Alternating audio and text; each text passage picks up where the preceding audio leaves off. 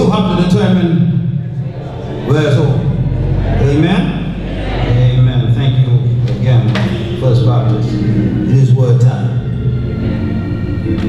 Amen. Are you excited? God has a word for us. He has a spokesperson here tonight. He has a Narai, a paper boy. The news is hot. Amen. And coming to introduce our preacher for the night is Pastor Robin Johnson from Mount Sinai, Exuma. Amen.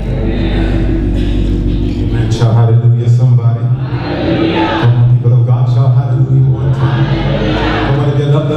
Open up your mouths and bless Him. Say something to Him. Father, we thank you. You know how to do it. We give you praise, God. We bless your name because you are worthy to be praised. How many believe the Lord is worthy to be praised? Come on. You got to open up your mouths and you got to talk to Him. Let's set the atmosphere in this place. Come on, glory be unto your name, oh God. Somebody have to praise Him right now. Bless your name, oh God. We can feel your presence even now. Glory be unto your name. God bless his name tonight. We bless his name tonight. We are here just to lift up the name of Jesus. And, the preacher, the, the, the moderator just before was just challenging us to recognize where we are. And, and we ought to recognize where we are. That we are in hopeless times. But then we are people that resides not just in the hopeless situation, but we look unto the author and the finisher of our faith. Are you here with me? And so tonight we are people of hope, living in hopeless situations, but we don't we don't live according to the situations around us, but we live according to who is in the situation with us. My God, today. So we are here tonight. We're gonna hear from a preacher. We're gonna hear from a man of God. We're gonna hear from a servant of God. One who has been called. One who has, one who has been pulled of situations, one who has prepared himself, one who has allowed himself to be sharpened by God, by the word of God, one who has walked what he's been preaching, one who has been walking what he's been teaching, one who is really prepared. I'll tell you something about Reverend Curtis, the, the, the, the preacher that is coming before us.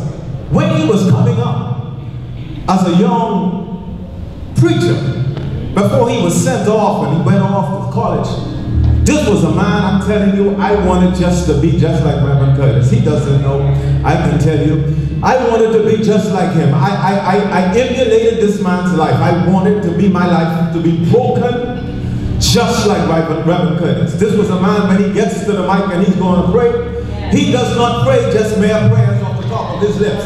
His whole soul and being gets right into what he was doing. Y'all know Reverend Curtis? This is the man that I wanted to emulate. I wanted my soul to be so on fire for the Lord like Reverend Curtis' soul is on fire. I wanted just to be a, just a, a fire on the altar, just like Reverend Curtis. Today he is not changed.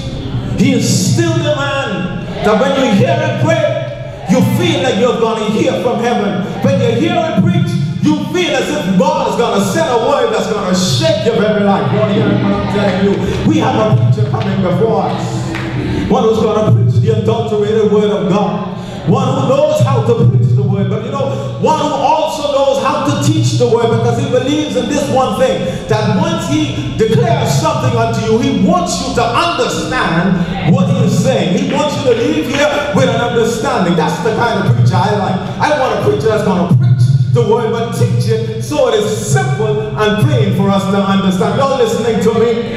That's the preacher that's coming before us because we need a preacher that's going to preach and teach hope in hopelessness. After First Baptist, I would have sung, I want you to pray, my brothers and sisters, for the man of God, Reverend Leslie Curtis of uh, uh, the church in Hermitage, St. Paul's. He's going to come before us and he's going to preach the adulterated word of God. I want you to pray that God will shake us when he would have spoken. In Jesus' name, amen.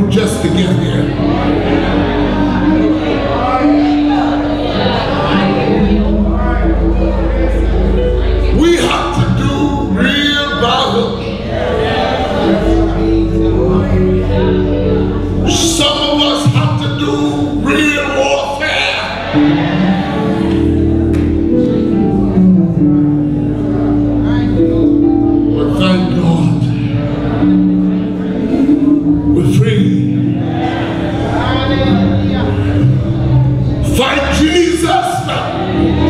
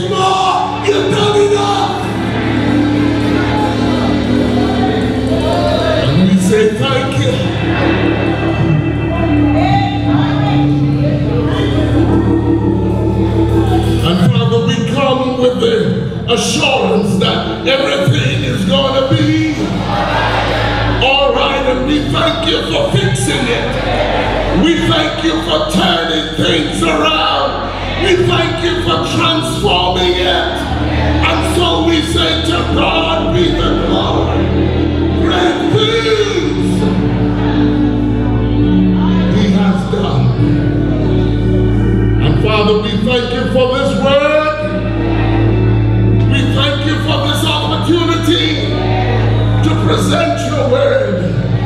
And may the words of our mouth and the meditations of my heart be acceptable unto thee, O God, my strength and my redeemer.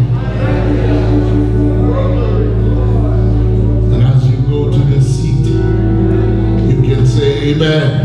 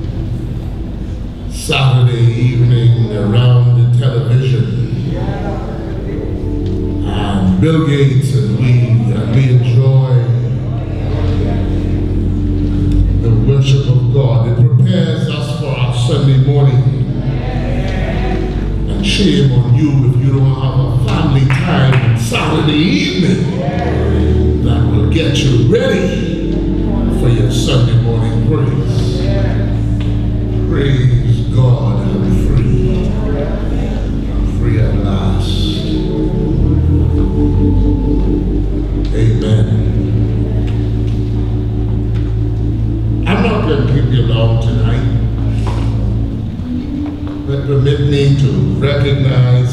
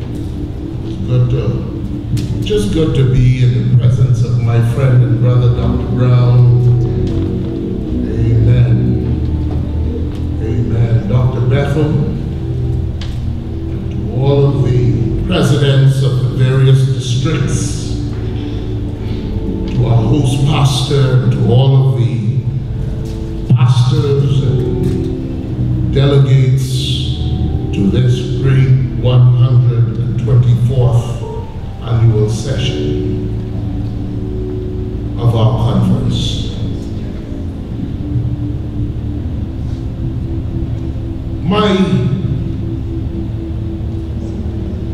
homiletics teacher, thanks very much, Pastor Robin Thompson. You never know what inspiration you have been to people's lives. I try to live what I preach. And I say to everybody, I don't do politics.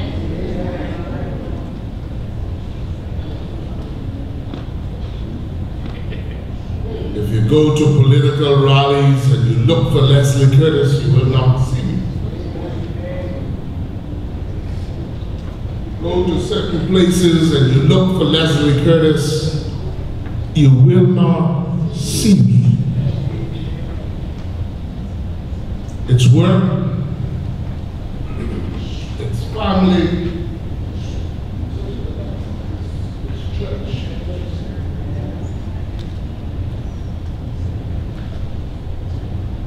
because I realize that time is short.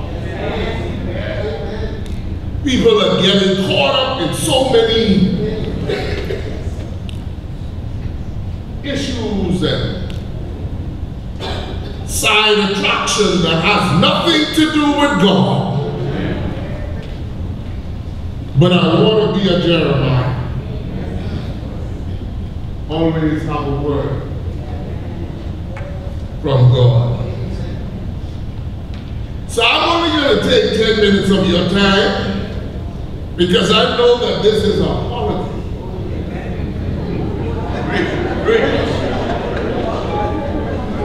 Hello. And uh, it's a good place to be. It's a good place to spend your holiday with the Master. And it's a good thing that you've given me a difficult one.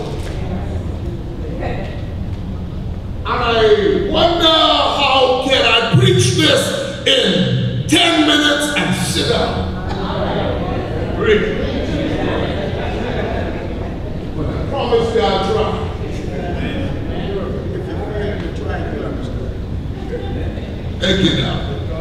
Hope in the time of hopelessness.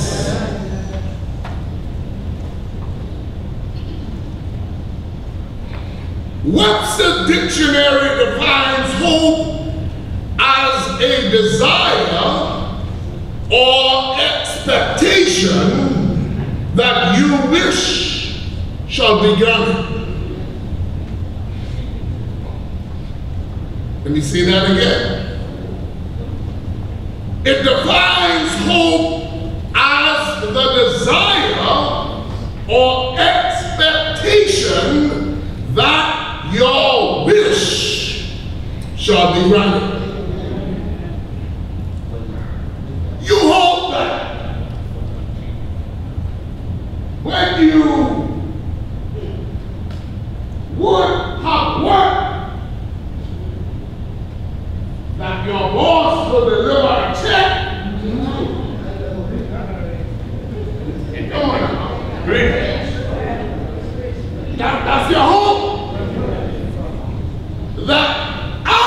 you would have lived.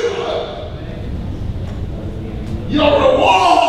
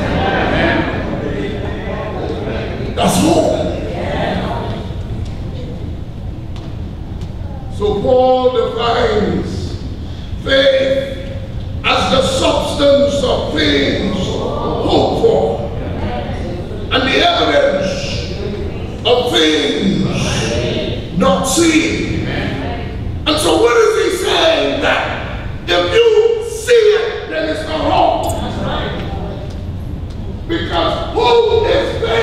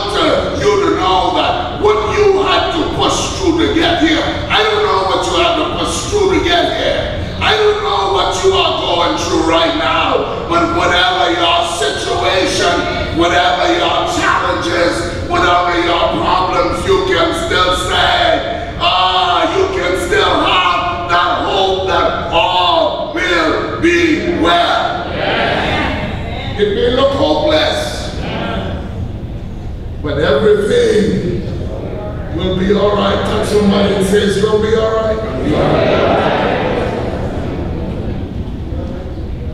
It's going to be all right. So my first point is this.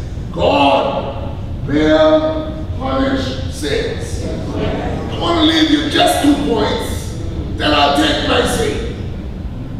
God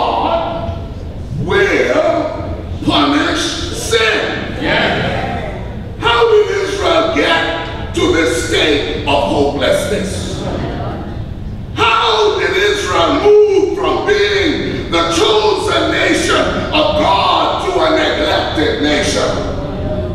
How did it move to become a rejected and abandoned nation? Tell me how did Israel move from being a royal priesthood, a chosen generation, to show forth its praises unto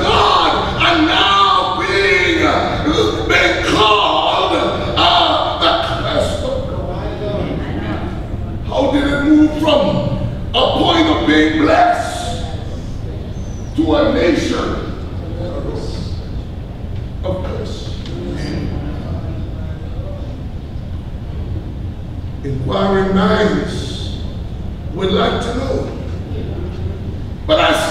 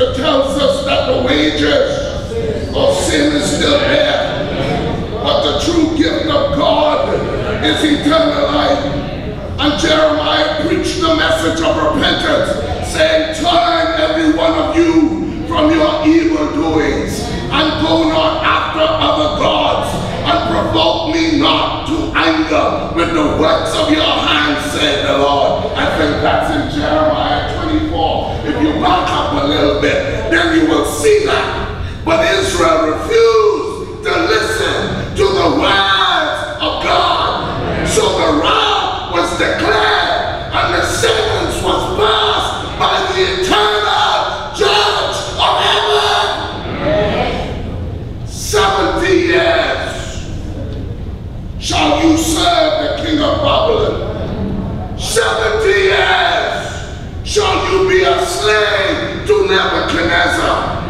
no plea deal, no privy council that you can appeal the sentence is done.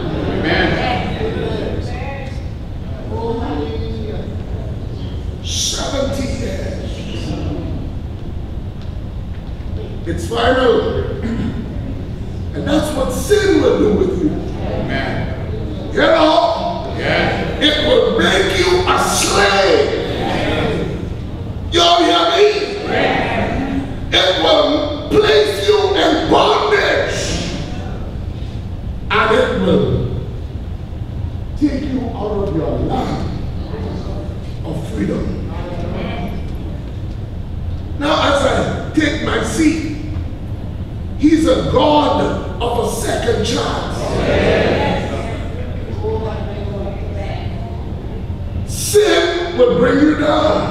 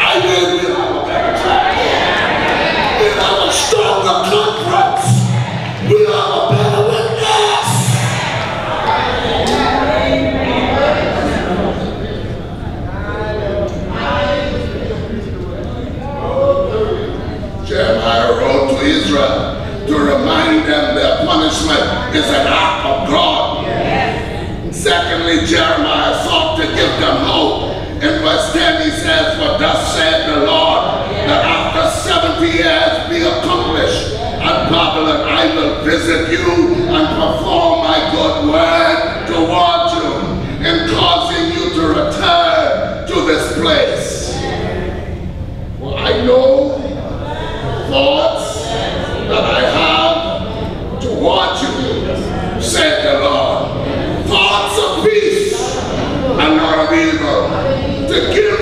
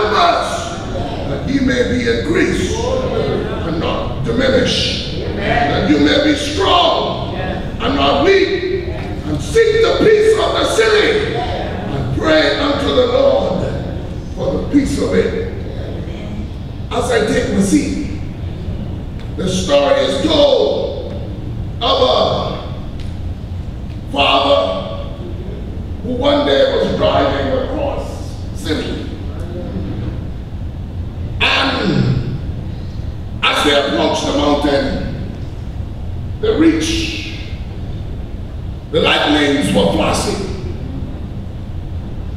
the thunder was rolling, and the rainstorm just poured. Amen. The father sat in the co-pilot seat and said to his young daughter, don't you stop. Keep on moving down, take precaution, but don't just stop. Amen? Amen. Keep moving. Yes. And as they went through the mountains and got on the other side of town, the young lady noticed that the sun was bright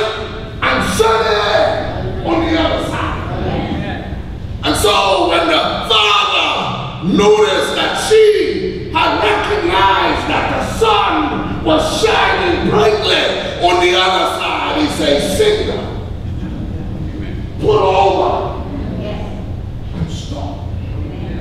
The young lady said,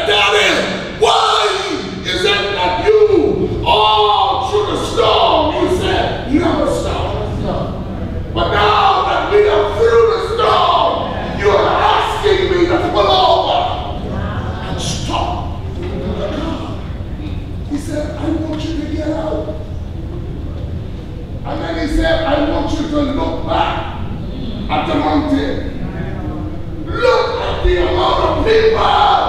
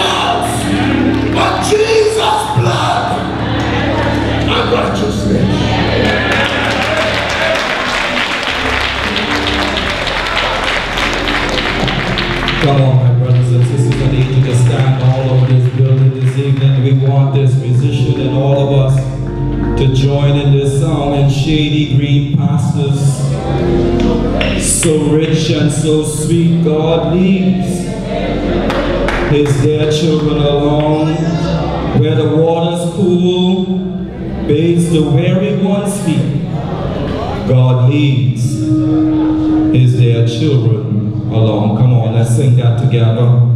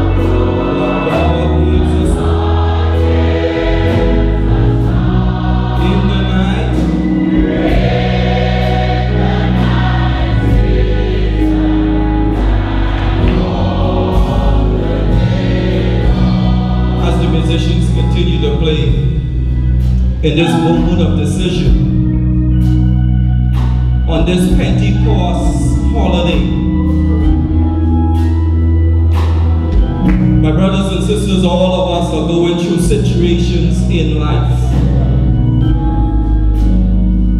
As we go through these hopeless situations and we understand and recognize that God is within these situations. I'm reminded, my brothers and sisters, of the story in the book of Matthew 24. Sorry, Matthew 14. Jesus said to his disciples to go over to the other side. They got in the boat. They started to row to the other side. But the Bible says as they got in the midst, someone said it was about halfway across the lake. They were caught up in a storm. Somebody said it was a hopeless situation. They, they didn't see their way out of this situation. They thought that they were going down.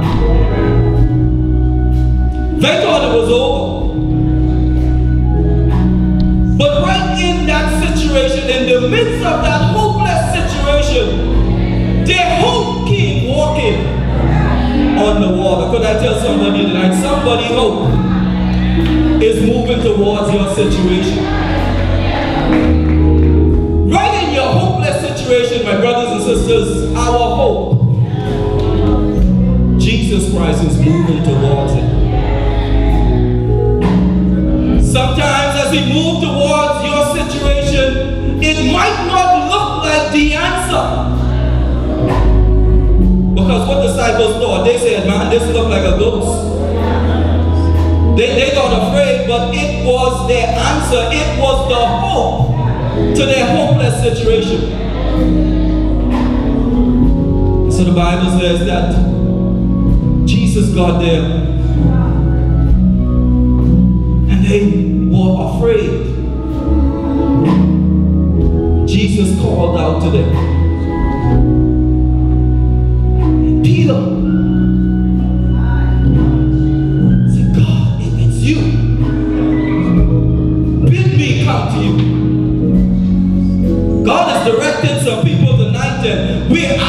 question, God, is it you?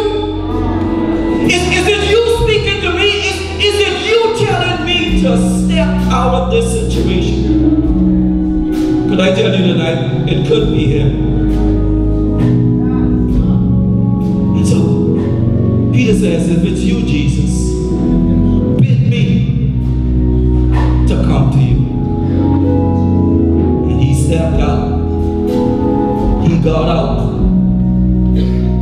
his eyes on Jesus. And he did something that he's never done before. He walked on the water. Could I tell somebody tonight, God is ready to do something for you that he has never done before. Do you have that level of faith?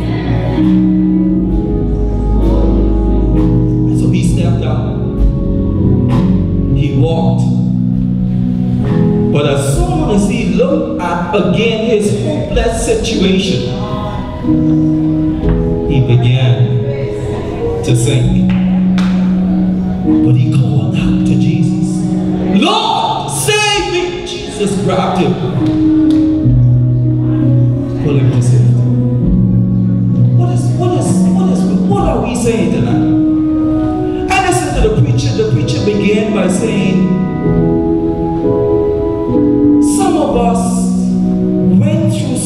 stuff just to get here.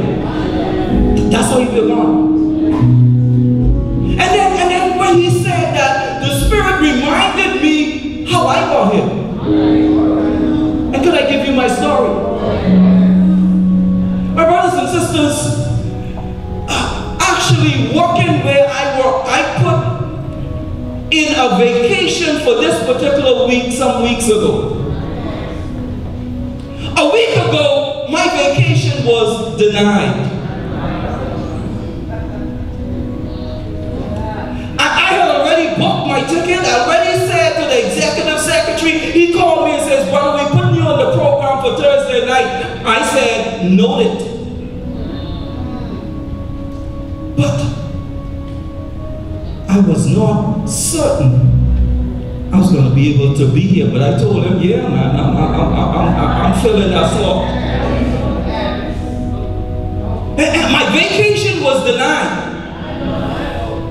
And so, and so I, I went to a colleague to try to get some assistance, and the colleague was also on vacation around this time and says, hey, I'm traveling. Went to another, so heaven, heaven right there, don't talk about. Went to another colleague, and the colleague said to me, uh, uh, no, no, the, the, the boss is sending me this week to another location. And so they were the only two persons who could assist me.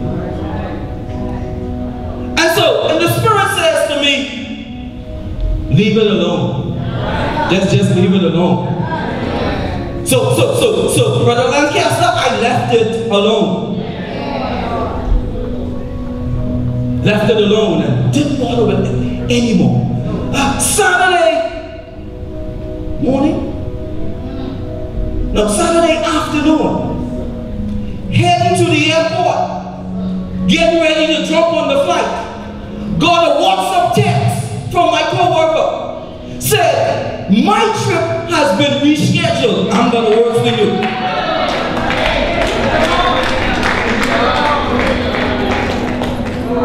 I said, God, you are amazing. I, I, had everything packed. I said, I'm coming for the week no matter what.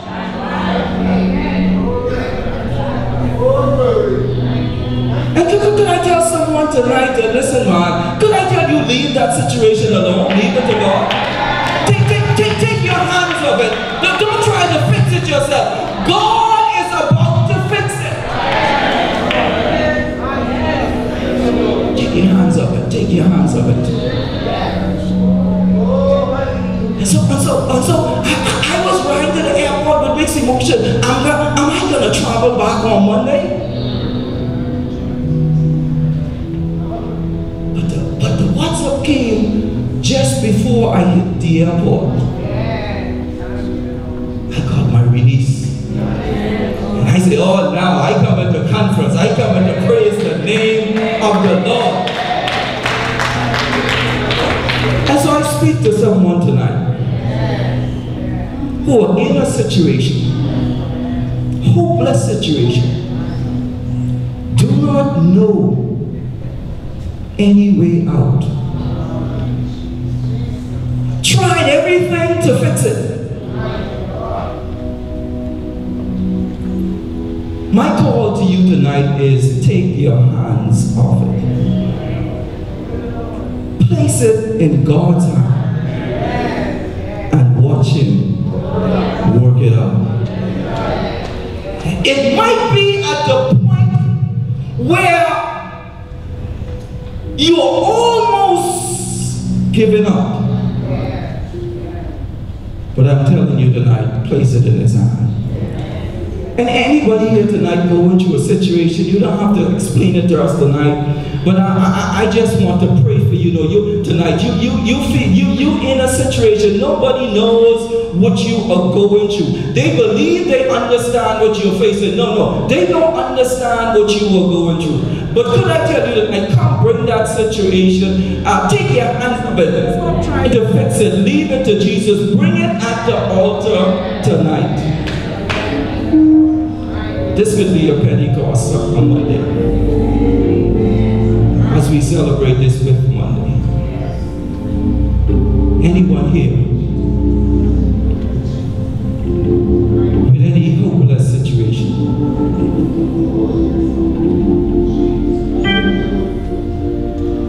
family related, could be career related, whatever it is.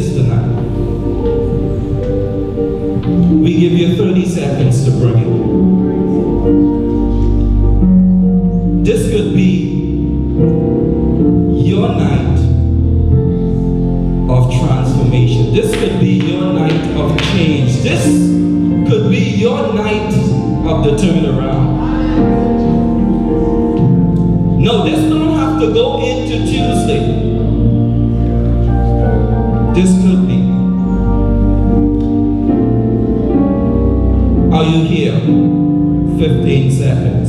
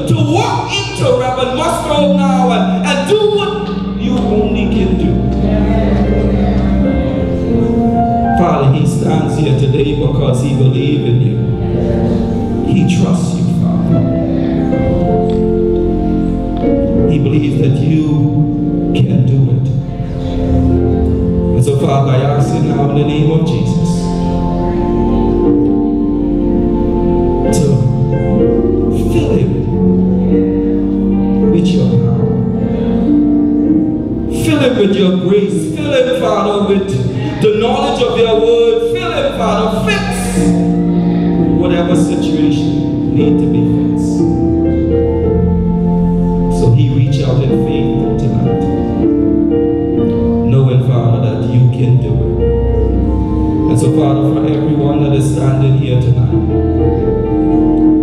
dealing with different situations and going through circumstances, but Father, we reach out to you with hope saying, Father, we will trust you.